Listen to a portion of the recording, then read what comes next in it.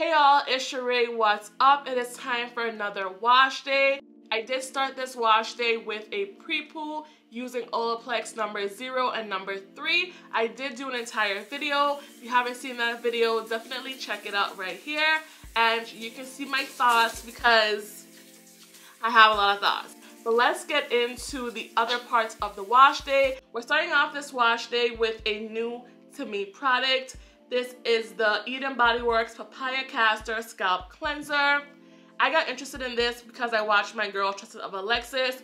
She used it on her channel a few months ago. I will link her down below. Y'all, this product smells delicious.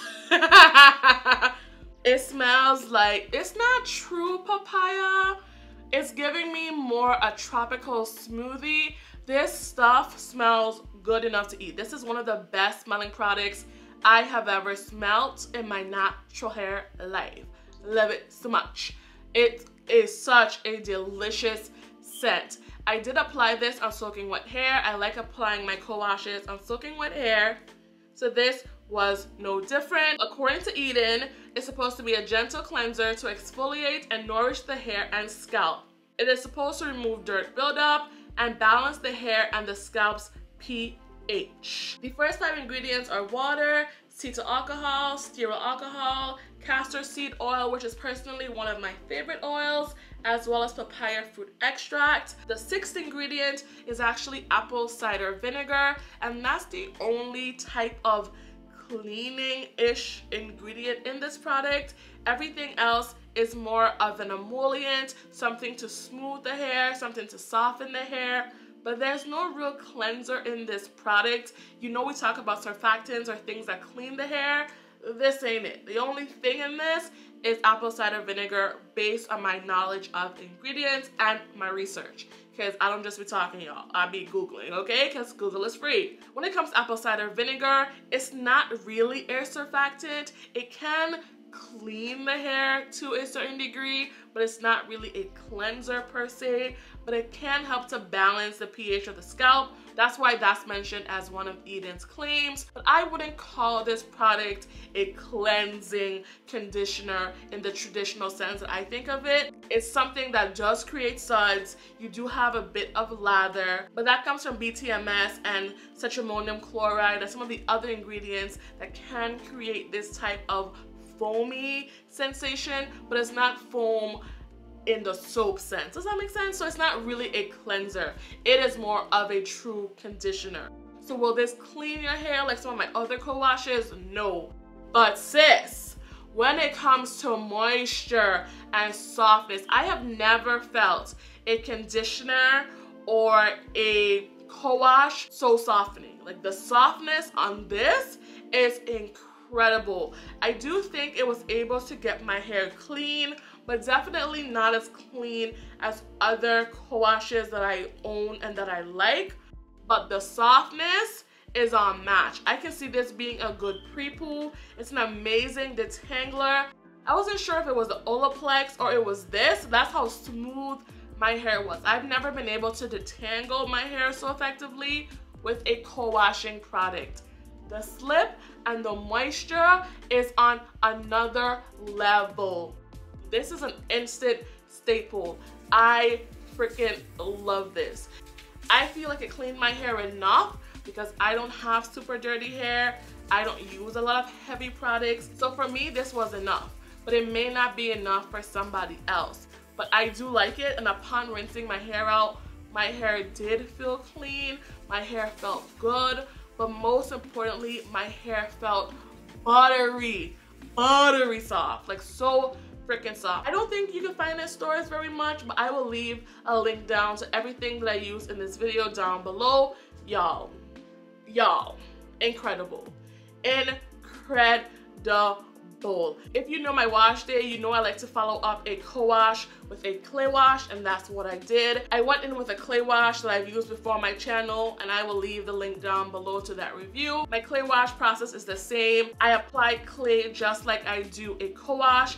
I smother it onto my hair, I apply it to my scalp, I make sure I get it into my scalp. I make sure I get it down my strands. The type of clay wash that you use doesn't really matter. I also have a DIY clay wash that I will link down below. I'm actually just going to skip over the clay because we're not going to talk much about it. Anyway, let's get into deep conditioning. Today I'll be trying the Carol's Daughter Cocoa Creme Curl Quenching Deep Moisture Mask for very dry, curly to coily hair, which is my hair. I naturally have dry hair. If you've been on my channel, you know I'm obsessed with the moisture butter from this line.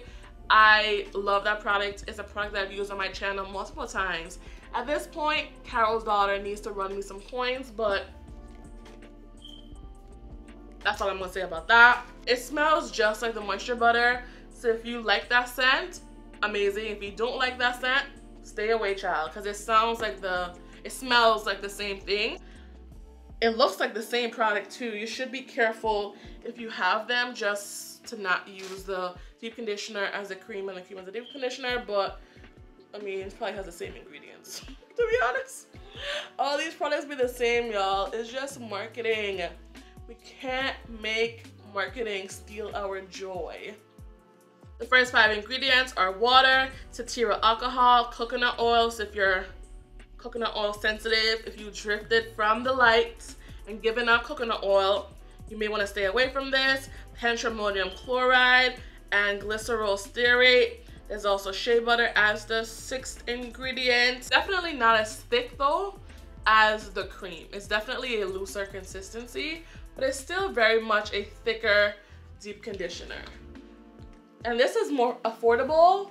The co-wash, I forgot to mention, what it's under $10 and this is just around $10. This is like $11, $12. I forgot to apply my oil, which is no bueno, so we gonna just cheat and go in with a bit of oil. That is my preference. Give extra dry hair a buttery dose of replenishing hydration with our curl quenching deep moisture mask. This intensely moisturizing cocoa cream system with our shampoo and conditioner is blended with our cocoa cream recipe. It offers an extreme moisture experience, leaving hair shinier and touchably softer. Okay, I'm gonna hold you to that. I do want to note that this product does not contain silicones, it does not contain mineral oil, petrolatum, parabens, or any of the stuff we typically stay away from. Alright y'all, this is what my hair is looking like after applying the Cocoa Creme Deep Conditioner. Usually I go under my steamer with deep conditioner, so because this week is a strengthening week, I don't want to like over moisturize my hair for a lack of a better word using my steamer. I kind of want to keep my hair balanced, so there's no need for a steamer. I'm just going to go in with my regular hooded dryer. After sitting under the hooded dryer for 30 minutes, I went into the shower and I rinsed my hair with warm water. Y'all know the deal, this is what I always do. I know some people go in with cold water, but warm water works best for my low porosity hair. Almost an hour later, these are the results. My hair does feel nice and soft. Is it the softest it has ever felt? No. There are things, you know, in my stash over here that I do prefer, but a lot of them are not $12 for 12 ounces. do with that information as you will. My hair does feel good. My hair does feel better than a lot of more expensive products. There's some $20 deep conditioners for 8 ounces that don't do what this product has done. The definition that I got once applying it, the softness that I got, this isn't a typical result with some deep conditioners. I do have about half a use left, so I definitely plan to use it up this summer. And if I was ever in a bind in Target or something that I really need a deep conditioner, I know I could turn to this deep conditioner to give me the results that I'm looking for. Now for the scalp cleanser, this is a yes, this is a hell yes. When it comes to being a pre-poo, a detangler, a conditioner, yes. Maybe not the best co-wash because it doesn't contain a surfactant like I said, but besides that, pick this up. Pick this up. If you don't try anything else from this video, pick this up. That's it guys. That is my wash day. I hope you enjoyed this wash day with me and i'll see you in the next one. Peace. Bye y'all